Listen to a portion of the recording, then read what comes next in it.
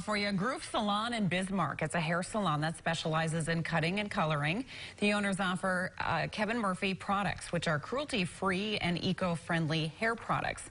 And the salon has handicap-accessible shampoo bowls and space. The store opened August 12th, and both owners say this new salon adds something unique to the area.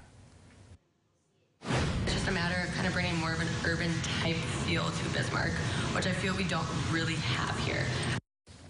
If you have a new business that you'd like to see on this segment, shoot us an email at ndfirst at kxnet.com.